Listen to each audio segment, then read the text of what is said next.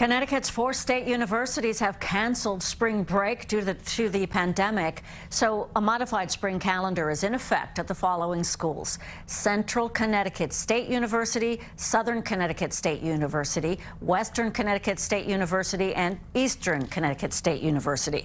Also, the spring semester will begin on January 26th. That's one week later than originally scheduled.